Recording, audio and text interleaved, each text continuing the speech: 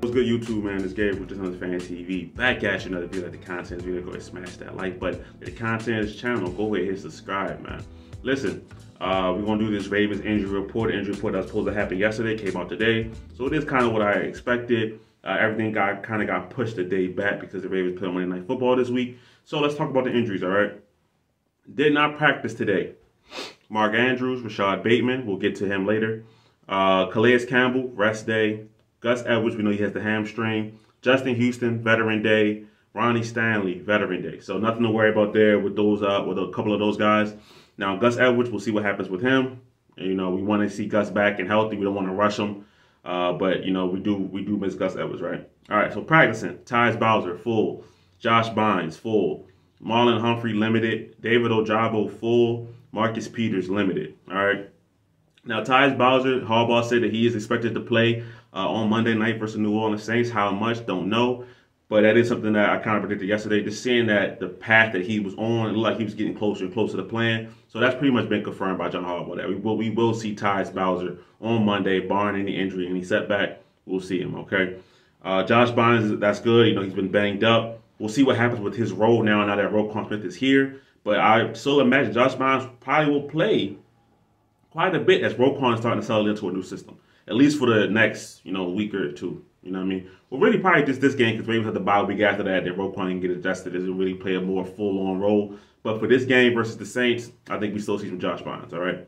Uh, Marlon Humphrey, want to take it slow with him. Uh, David Ojabo full practice again, so that's good. He's continuing to ramp up. I don't expect to see him this week, but it's good that he's ramping up. All right. Um, Oh, one one more thing. J.K. Dobbins. John Harbaugh said he had a successful surgery. The, the knee scope that he had was successful, and that uh, what he really didn't give a timeline for his return from what I saw. But successful surgery, so we'll see J.K. Dobbins back uh, at some point this year. Not sure when, but that's good news. All right, we gotta get to the big news though. All right, Rashod Bateman is having season ending season ending Lisfranc surgery. Okay. So his foot injury turned out to be way more severe than the Ravens uh, led on to be, or the Ravens knew. Um, and now he's having to have to have season-ending surgery. Apparently, it was one of those things where he could decide to play through it or not. And he, he said he talked. Harbaugh said that Bateman talked with his family, his agents, uh, things like that, and they decided it was best for him to have the surgery. Right?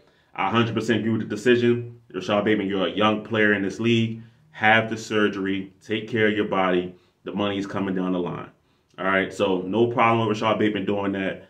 Uh, when you're a player, especially in the NFL, they'll tell you things like, "Yeah, play through it, be, be be the guy for the team." And then if you don't produce, they'll hold that against you. Right? That's how the league does it. So Bateman, take care of your body, bro. You know, it's, it's, it's a huge blow for the Ravens. Honestly, is uh, and get healthy. Now on the Ravens side of things, all right. Uh, I'll probably include my tweeting here, something I really don't do, but you know, y'all want to go follow me on, on, on, my social media account, y'all can. I don't post too much, but uh, this is malpractice by the Baltimore Ravens, okay? Um, knowing that season-ending surgery was a possibility for, for Rashod Bateman and not doing anything about it um, in any capacity is bad business, right? Don't tell me they signed DeSean Jackson, that was before. Don't tell me they signed Andy Isabella, that was before. And even if that was the moves, that's not enough. All right. The Ravens, you clearly said that you're, you're in win now mode, right? You traded a second and a fifth for Roquan Smith. Love the move. Don't not taking that trade back at all. I love the move. Okay. That first round pick needed to go to the Panthers for DJ Moore. You figure out how to make the cap work. Or even a Jerry Jeudy. I'm not I'm not even the biggest fan of Jerry Jeudy. Trust me, I'm not. But this is what I'm saying right here, okay?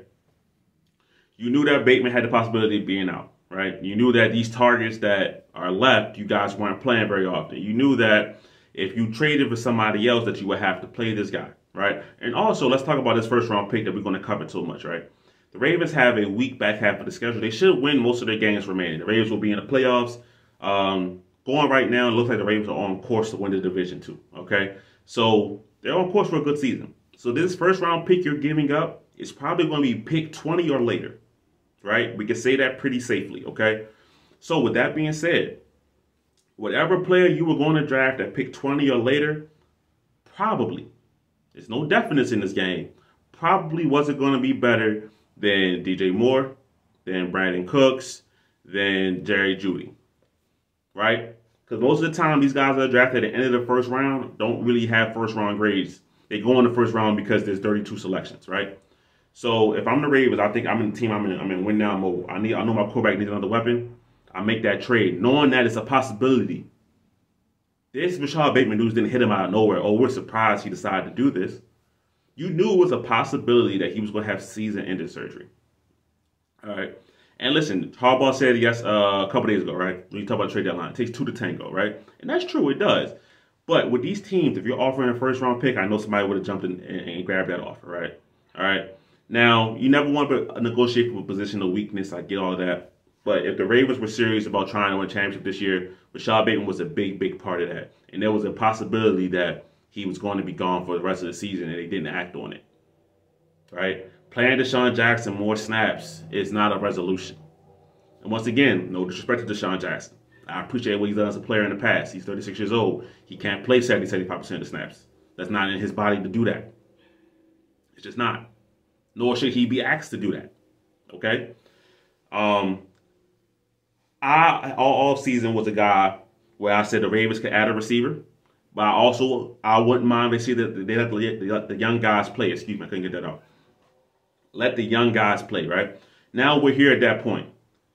There are no more excuses for James Proche, for Tylan Wallace to not see the field. There's no more there's no more excuses for Devin Duvernay not to get eight to ten touches a game. That needs to be a key focal focal point of this offense. The Ravens can no longer play how they've been playing and not including the receivers because you have to get these guys ready for action. Because when the playoffs come, they're going to be called upon. And if all season you guys have just been leaning on the run game to win these regular season games and coast by, when it's time to get to the playoffs and these guys don't have no rhythm, no timing with Lamar Jackson, it's going to be an issue. It's going to be a repeat of 2019. So these young receivers, you need to let them play now and they need to play often. They need to play a lot. That Tampa Bay game, you need to show it was no fluke, right? I said this before. Ricard was on the field about 50% of the snaps. That's kind of where he needs to stay at. All right. Before he's been at 65, even 75% of the snaps. It's too much.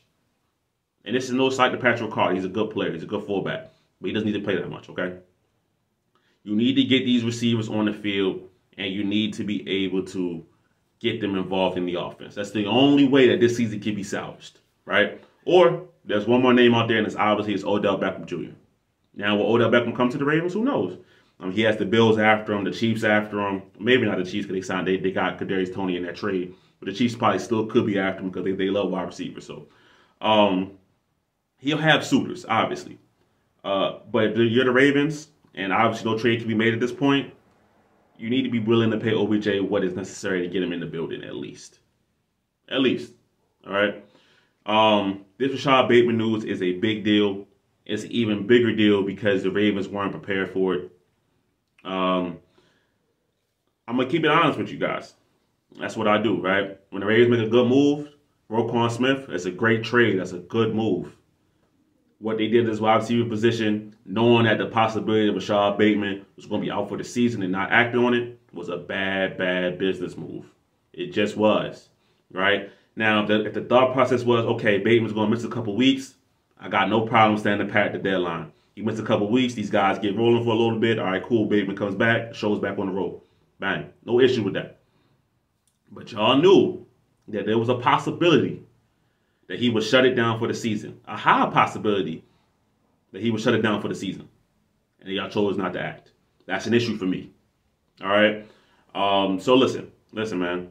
The Ravens are going to have to piece together a passing game. Greg Roman's going to have to do more what he did versus the second half in, in uh, Tampa Bay, which is be unpredictable, which is spread teams out, which is give space for guys like Duvernay to create. Isaiah Likely needs to be on the field even more now. Josh Oliver, you played well. I'm sorry. You don't. We don't really need to see you like that anymore. We really don't. All right, it's not your fault. You know, you're a big blocking kind of tight end. You have some listen to you, of course, but we need guys like Isaiah Likely that are threats in the passing game on the field. All right. And on top of that, Mark Andrews is hurt too. I mean, I mentioned that. I mentioned that earlier, obviously, but uh, we'll see if he play. We'll see if he plays on Monday or not. Uh, but the Ravens went about this trade deadline scenario completely wrong. knowing that there was a possibility that their wide receiver one would not be back. And that was a mistake. We'll see if this mistake ends up costing the Ravens in the end. And if it does, obviously we'll talk about it, man. But that's the injury report for today and a little uh, extra for me on the end. So uh, it's your boy Gabe. With this is Fan TV. I'm out.